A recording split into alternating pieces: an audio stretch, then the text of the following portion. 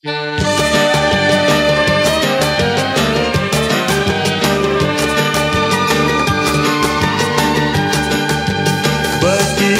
lama aku menyintar kepada engkau saudam Sari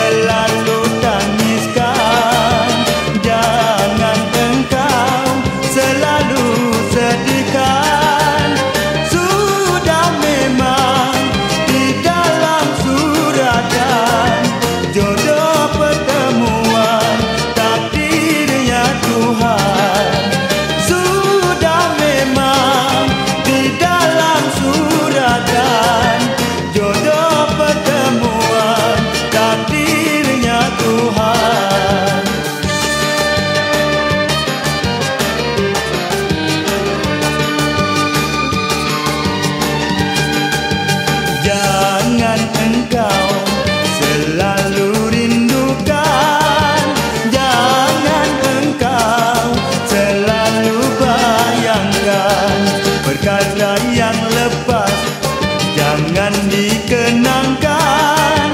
Sudah nasi untungnya badan. Apa guna selalu dipikirkan? Apa guna selalu dipilukan?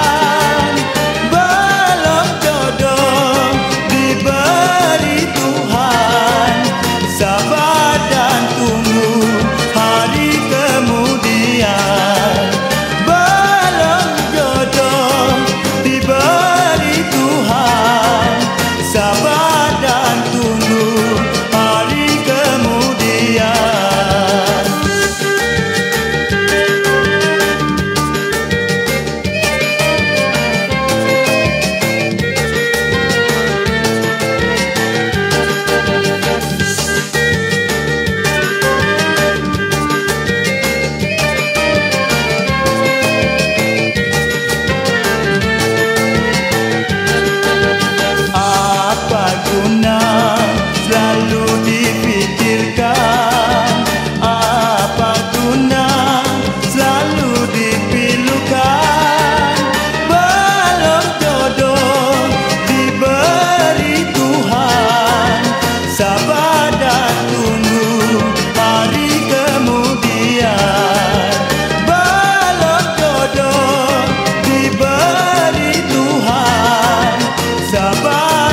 lumbung